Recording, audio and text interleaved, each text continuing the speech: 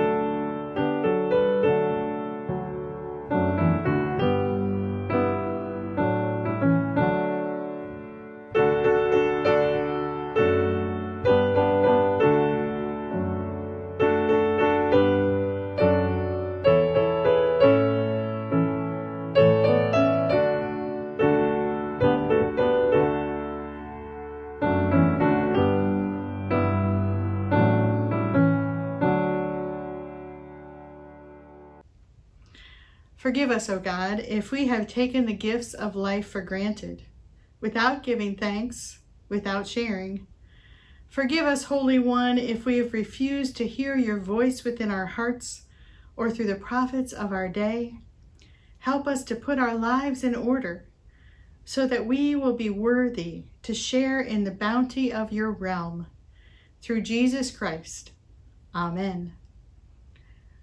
Friends, hear the good news. As far as the east is from the west, so far has God removed our transgressions from us. As high as the heavens are above the earth, so great is God's love for us. In Jesus Christ, we are forgiven. Amen. Let us now greet one another with the peace of Christ. Peace to everybody. May the peace be with you. May the peace be with you. Peace be with you. Peace be with you. Peace be with you. Peace be with you. Peace be with you. Peace be with you. Peace be with you, everyone. Peace be with you. Peace be with you. Good morning, church. And now a reading from Isaiah 35, verses 4 through 6. Say to those with fearful hearts, Be strong, do not fear. Your God will come. He will come with vengeance, with divine retribution, and he will come to save you. Then the eyes of the blind be opened, and the ears of the deaf be unstopped.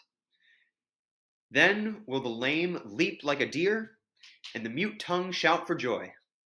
Water will gush forth in the wilderness and streams in the desert. This is the word of the Lord. Thanks be to God.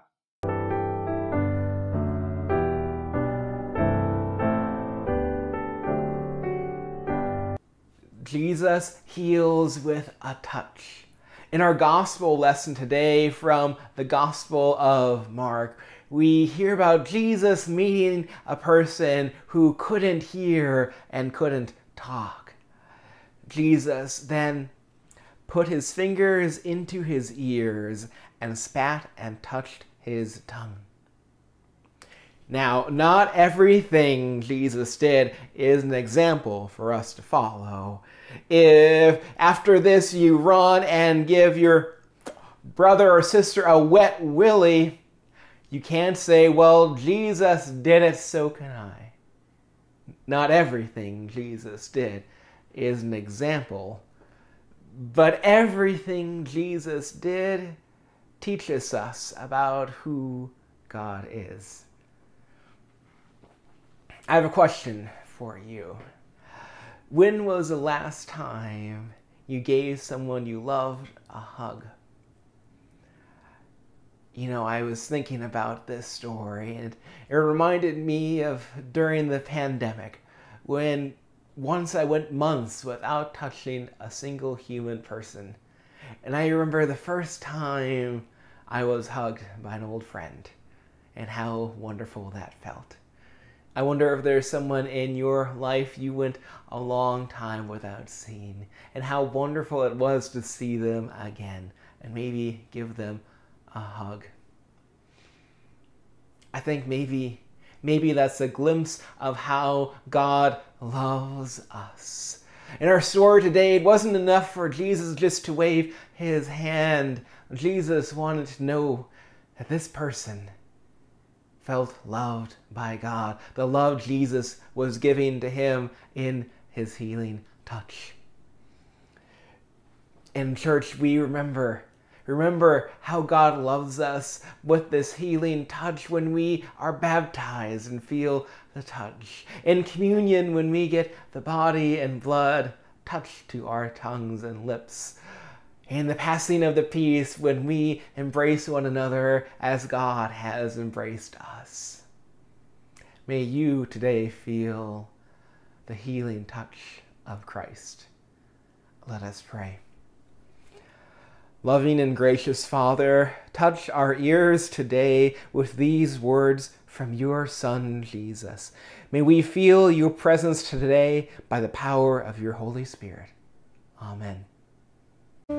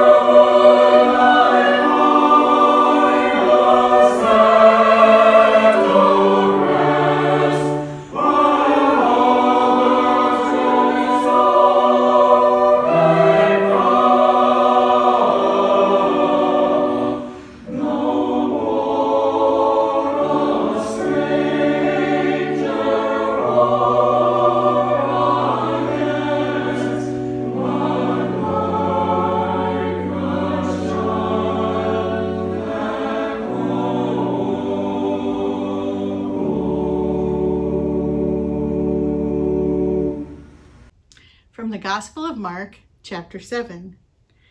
Then Jesus returned from the region of Tyre and went by way of Sidon towards the Sea of Galilee in the region of the Decapolis. They brought to him a deaf man who had an impediment in his speech, and they begged him to lay his hand on him. He took him aside in private, away from the crowd, and put his fingers into his ears, and he spat and touched his tongue. Then he looked up to heaven. He sighed and said to him, Ephphatha, that is, be opened. And immediately his ears were opened, his tongue was released, and he spoke plainly. Then Jesus ordered them to tell no one, but the more he ordered them, the more zealously they proclaimed it. They were astounded beyond measure, saying, He has done everything well. He even makes the deaf to hear and the mute to speak. The word of the Lord. Thanks be to God. Please pray with me. Dear God, may the words of my mouth and the listening ears of our hearts be acceptable in thy sight. O God, our rock and our Redeemer. Amen. I know we know this, but I'm just going to take a minute to remind us that Jesus did not speak English. Jesus spoke Aramaic, and Ephphatha, that is Aramaic for be opened. He touched the deaf and mute man's ears and tongue, and he said, Be opened.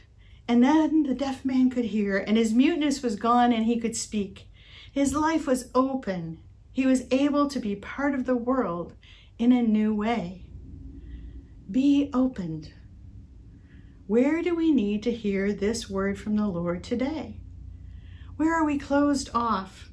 Where has life closed us off? What do we need to be healed from and open to in our lives? One Sunday morning in Florida, I was driving to preach at a church who just had had this big issue that caused their pastor to be removed. The presbytery asked me to come in and preach for a month to give them some stability as they tried to get their heads around what would come next. The church was pretty far away. It took me an hour and a half to get there. The first Sunday I went, I could see how the church was split with people actually sitting physically on one side or the other, depending on their opinions about what had happened.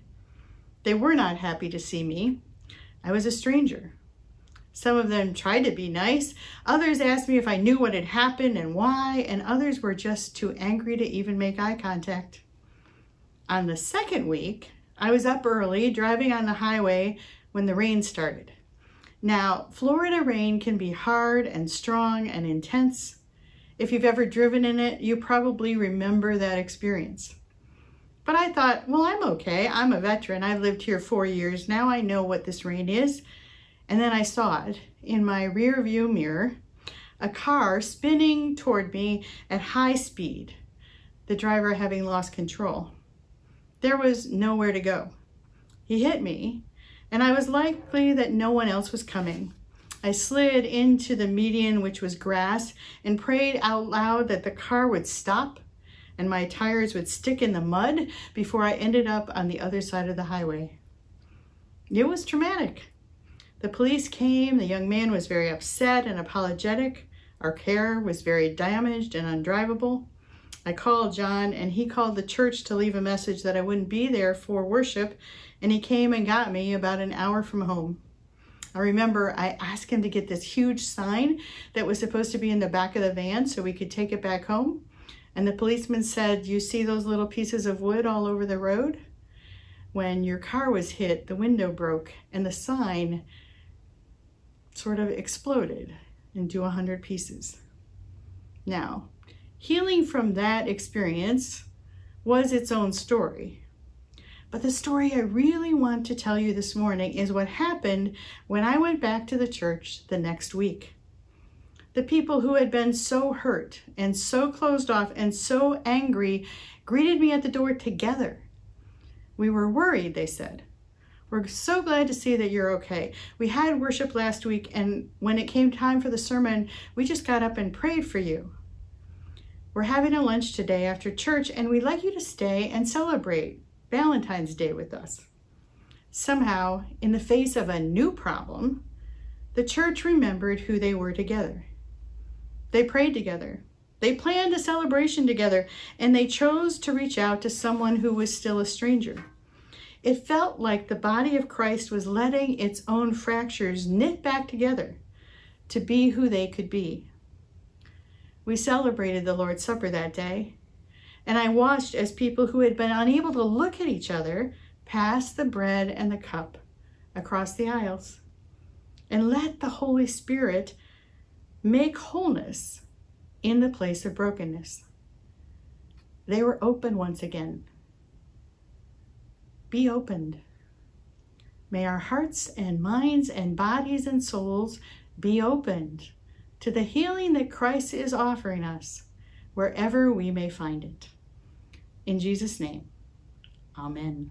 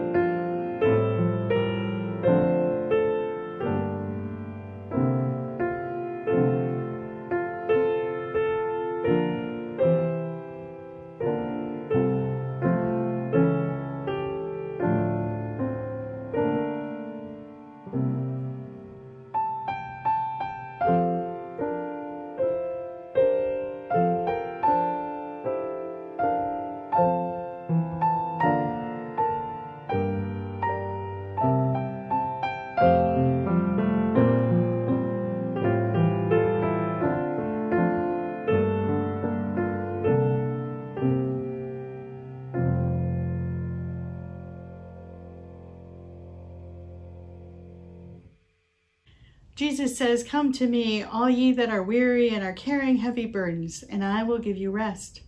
Take my yoke upon you and learn from me, for I am gentle and humble in heart, and you will find rest for your souls. Holy God, we praise you and give you thanks for the gift of your creation. We give you thanks for Jesus Christ, in whom your fullness dwells. Born of Mary, he shares our life. Eating with sinners, he welcomes us. Guiding his children, he leads us. Visiting the sick, he heals us. Dying on the cross, he saves us. Risen from the dead, he gives new life. We give you thanks for the bread and the cup.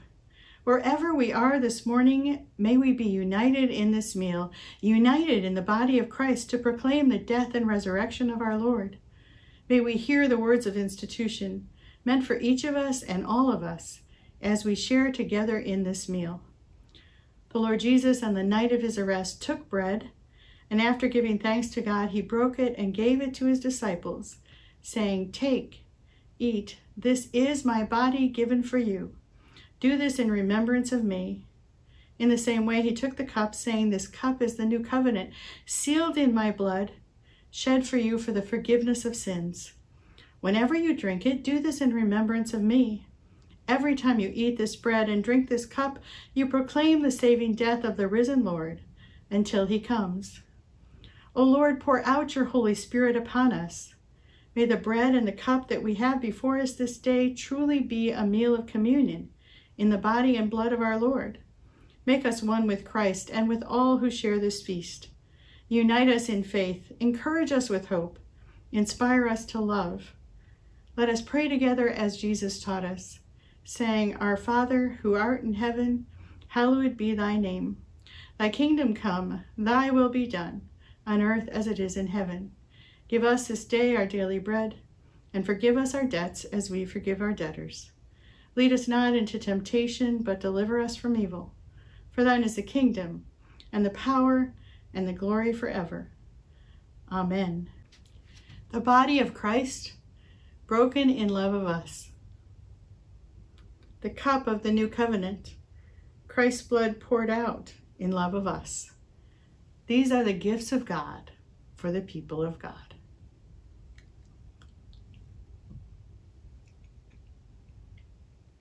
Let us pray.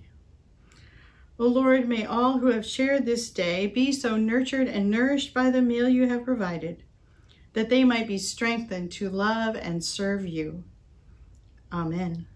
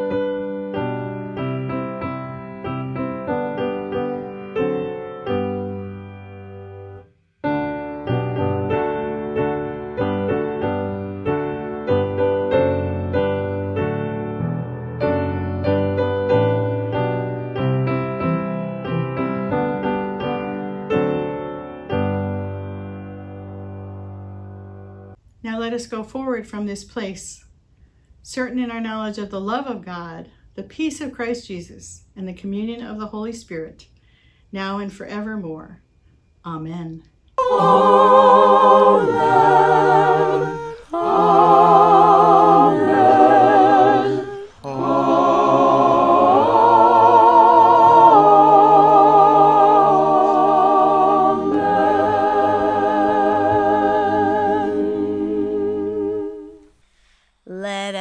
close our hearts to each other while we stand so far apart.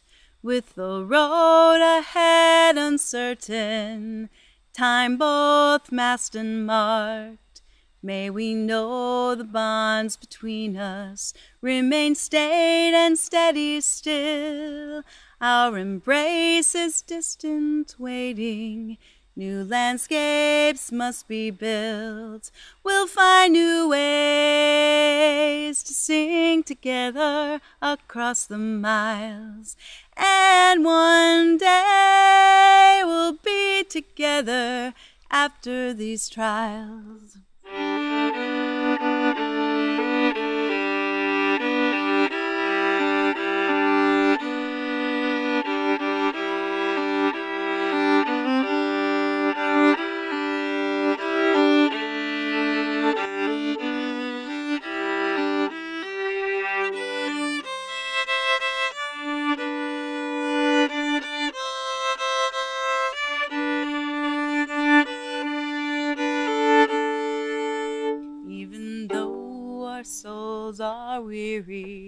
Hopes lie dashed and futures tossed, we will know our strength and trust our ties, our future and our hearts.